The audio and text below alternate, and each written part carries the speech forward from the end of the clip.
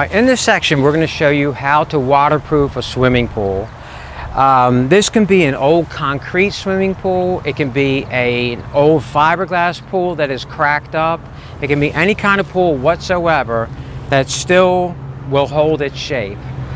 Um, we have taught this method to several different pool contractors and several different pool contractors were already contractors were already using this method before and they buy their supplies from us. It's fairly simple.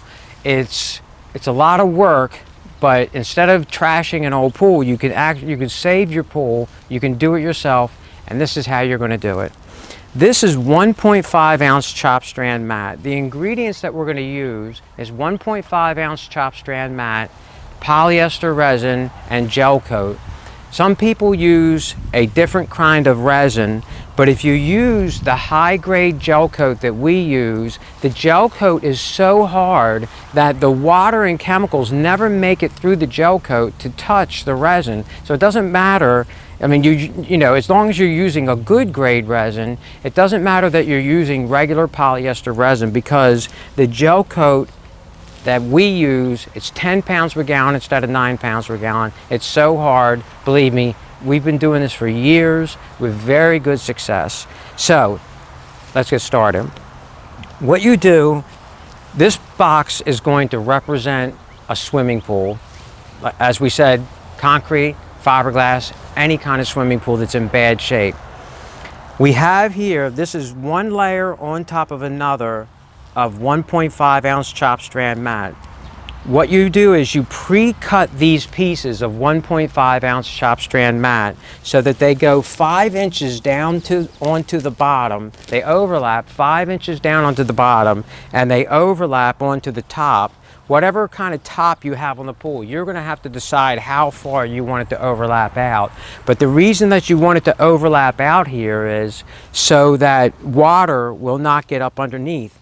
It doesn't matter if you have a surface like metal or if it's or if it's fiberglass, you don't have to concern yourself with whether the, the uh, polyester resin is adhering to the pool because the water is going to be pressing against the um, against the fiberglass and holding it against the pool wall.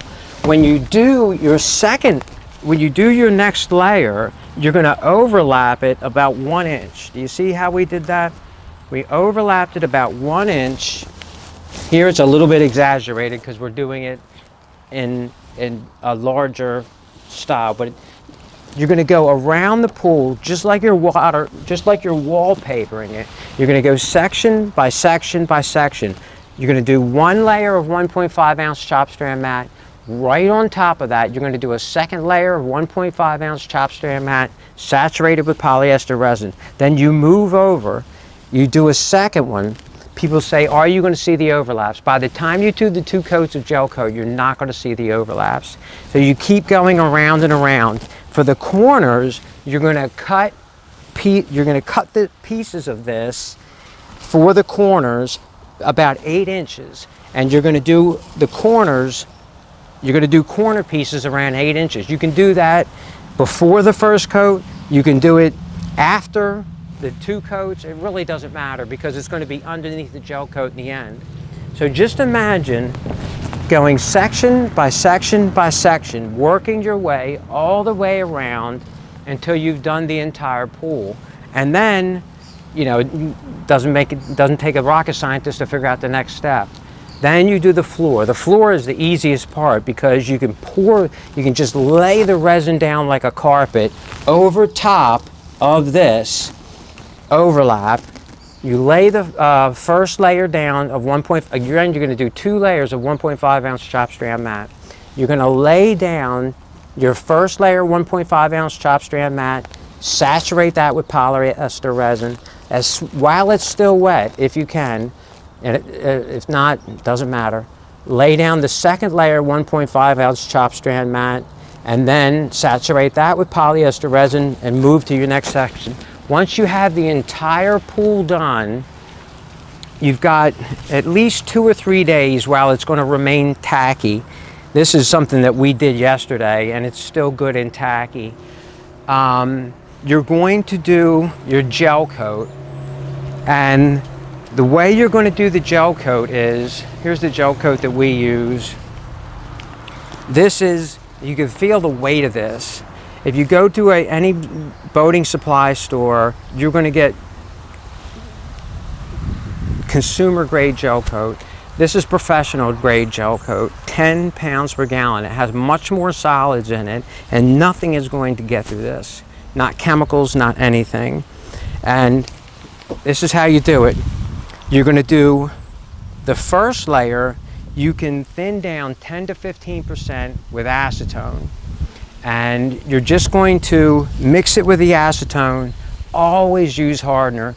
We had a customer the other day who did a layer with hardener. The whole back of the can, all it does is explain how to, you know, mix the hardener in. Never ever use polyester resin or gel coat without hardener. So you can thin this down for your first coat. Your first coat of gel coat can be very thin. After you've finished, you know, uh, doing the, the uh, polyester resin and 1.5 ounce chop strand mat on the pool, you can do a thin down coat for your first coat.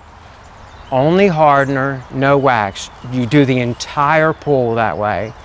You let that uh, dry, you let that finish. Then for the second coat, you can thin it, but not as much. It's better you, to use it full strength or only thinned 5%, but you're going to add the ingredients wax.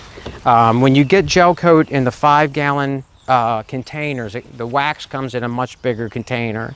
You add the wax first and mix that in very, very well. Then you add acetone if you want to thin it down just a little bit for the second coat. And then you add the hardener. For the second coat, the first coat, you can roll it on as thin as you like. For the second coat, you want a nice medium coat, just like you're rolling paint on a wall. A nice medium coat for your second coat with the wax in it. As the resin is curing, the wax rises to the surface, creating it, it, it, creates a microscopic air barrier that causes the resin to cure to 100%. And I mean, I've, I've demonstrated to people with our resin taking a hammer and a wrench or a wrench and, and banging on it. You can't make a crack in it. This, our polyester uh, gel coat is so hard. This only comes in white. Um, we do have a gray tint that you can get for it. Um, that's on the website. Um, you can tint it to gray and we'll talk about that later. But after you do the second coat of gel coat that has the wax in it, the next day it's going to be hard as a rock. I tell people um, you should wait one day for each layer that you've put down before you put water into the swimming pool. Now here you've got two layers, so that's two days. Then you're doing two layers of gel coat, that's two more days. So that would give you four days. I think if you're, it would be safe to put water in the pool within three days. We had someone put water in the pool after 12 hours and it was not good. You have to let, you know, you have to let this cure, you have to let this harden up, all the layers that you're doing. Um, if, if, there, if you're if there's, you know, if you're doing a layer one day and then a layer the other day, then maybe you can put water in the pool after 48 hours. I wouldn't. To be safe, wait three days before putting water in the pool. That's pretty much it. If you have any questions, you can email them to me. But that is how you save an old swimming pool, no matter what it's made of.